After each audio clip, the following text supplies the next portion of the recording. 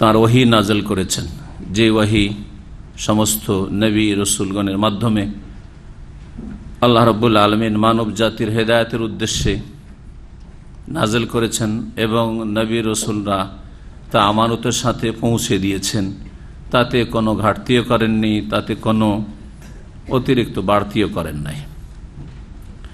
আর যারা আম্বিয়া রসুলগণের শত্রু, কাফের, ইহুদ মুশরেক, মানুষ শয়তান, জিন শয়তান, তারা ওহির অনুসরণ না করে, ওহির প্রতি বিশ্বাস না করে তারা কুফরির প্রতি বিশ্বাস করেছে, জাদুর প্রতি বিশ্বাস করেছে।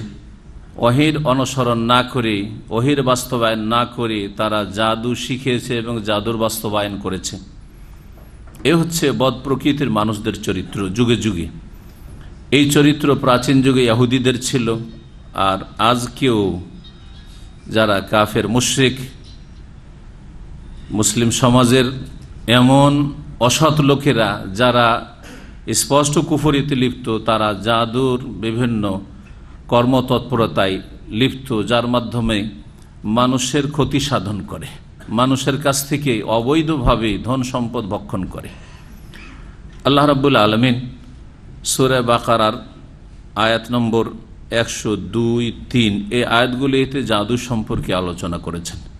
এ জাদুর অনুসারী ছিল ইয়াহুদিরা, যারা আজও বা কেয়ামত পর্যন্ত যুগে যুগে জাদুর অনুসারী, জাদুর কাজে লিপ্ত, তারা হচ্ছে ইয়াহুদিদের অনুসারী।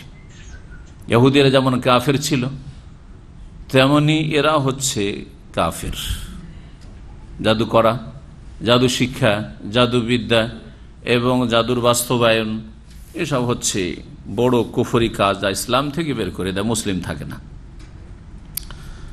জাদুর মাধ্যমে এক শ্রেণির লোকেরা অলৌকিক, অসাধারণ কিছু দেখায় আর সেটাকে নিজেকে ধর্মের রং দিয়ে কেরামতি প্রকাশ করার চেষ্টা করে বলে এগুলি হচ্ছে আমাদের কেরামতি অথবা আমাদের বুজরুগানের দিনের কেরামতি। সেগুলি কেরামতি নয়, সেগুলি হচ্ছে জাদু।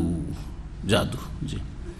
এই জন্য মনে রাখবেন যে মজেজা, কারামা বা কারামত আর জাদুতে পার্থক্য হচ্ছে যে মজেজা আম্বিয়া রসুলগণকে আল্লাহ অসাধারণ কিছু দিয়ে থাকেন, যা আল্লাহর ক্ষমতায় কুদরতে হয়ে থাকে, নবী রসুলদেরও ক্ষমতা সেখানে থাকে না।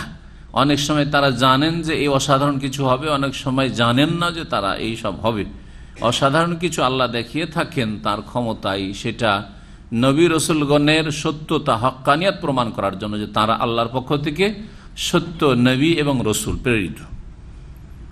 কারামত নবী রসুল ছাড়া, নবী রসুলের নেক উম্মত যারা সৎকর্মশীল, আকিদার ক্ষেত্রে, তৌহিদের ক্ষেত্রে, সন্ন্যার অনুসারী, শির্ক বেদাতে বিশ্বাসী নয়, আর শির্ক বেদাতে আমলে তারা লিপ্ত নয়, এমন সহি আকিদার মুসলিম এবং সৎকর্মশীল ফরজ অজেব আদায় করে, হারাম, নাজাইজ থেকে বেঁচে থাকে, এইরকম ভালো মানুষের হাতে যদি, তাদের জীবনে যদি অসাধারণ কিছু প্রকাশ পায় সেটাও আল্লাহর ক্ষমতায় তারা মোটেই যান। আম্বিয়া রসুলগণ তো যেহেতু তাদের কাছে ওহি আসতো, সেজন্য তারা জানতে, কখনো কখনো পারতেন যে এটা একটা মজেজা হতে যাচ্ছে।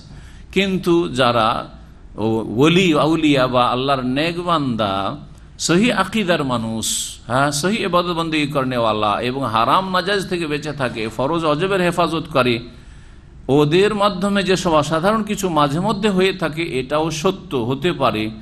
সে সম্পর্কে তারা জানেনও না, আর তারা কোনো ক্ষমতাও রাখেন না। আর তাদের কাছে কোনো ফ্যাক্টরিও নেই যে যখন তখন কেরামতি দেখাবে, যেমন কেরামতি চড়াচড়ি, বিশেষ করে ভারত, বাংলাদেশ, পাকিস্তানে রয়েছে। এগুলি কেরামতি নয়। এগুলি ভেলকিবাজি এগুলি হচ্ছে জাদু কর্মতৎপরতা। কারণ তাদের আকিদাতি গড়বড় রয়েছে। আকিদায় শিরকার বেদাতে ভর্তি রয়েছে।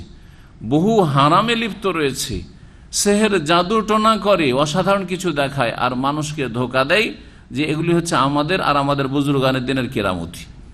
তিন নম্বর যেটা, মুসলিম সমাজের অসৎ লোকেরা অথবা অমুসলিম সমাজের অসৎ লোকেরা, যারা কাফের মুশেক অথবা সিরকি কুফরি কাজ করে অসৎ ব্যক্তি বিভিন্ন হারামে লিপ্ত থাকে, পাপে লিপ্ত থাকে, বিভিন্ন হারাম অবৈধ পন্থায় নোংরামি করে কিছু কর্মকাণ্ড করে, যেগুলির মাধ্যমে অসাধারণ কিছু দেখায়, সেটা হচ্ছে অসাধারণ। সবগুলি অসাধারণ মজেজাও অসাধারণ, যেটা সাধারণভাবে হয় না, কেরামতিও অসাধারণ, আর সেহের জাদু অসাধারণ। কিন্তু পার্থক্য হচ্ছে, কি বললাম? যে মজেজা নবী রসুলগণ থেকে প্রকাশ পায়, আল্লাহর ইচ্ছায় কারামত সৎ লোকদের থেকে প্রকাশ পায়, আল্লাহর ইচ্ছায় তাদের কোনো ক্ষমতা থাকে না, তাদের জানাও থাকে না।